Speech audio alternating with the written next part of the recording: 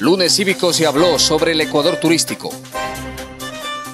Los lunes son cívicos y culturales. Así lo registra el municipio de Macará con su alcalde, el doctor Alfredo Zuquilanda, que coordinadamente con la participación de directores, jefes departamentales, concejales del cantón, es decir, la gran familia del municipio de Macará, se lleva adelante lunes a lunes temas importantes que resaltan el civismo y la cultura nacional, así como también internacional. En esta oportunidad se habló sobre el Ecuador turístico, sostenible y sustentable, a cargo de la ingeniera Sonia Honores del Departamento de Turismo.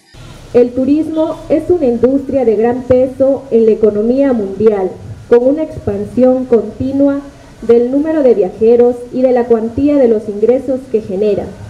Es importante conocer el concepto de turismo sostenible y los beneficios que supone practicar este tipo de turismo. La definición del turismo sostenible, según la Organización Mundial del Turismo, es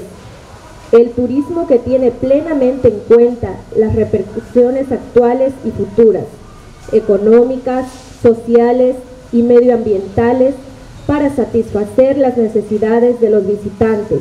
de la industria, del entorno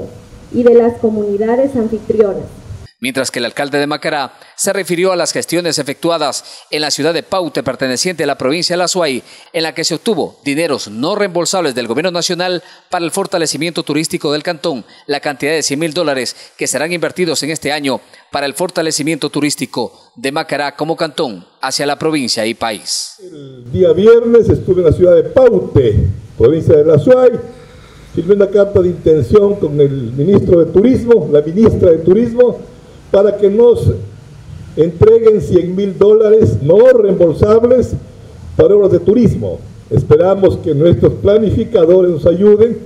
a reconstruir aquí esa pileta o hacer un centro de difusión turística de Macará en esa parte o también a arreglar la ajita, en fin.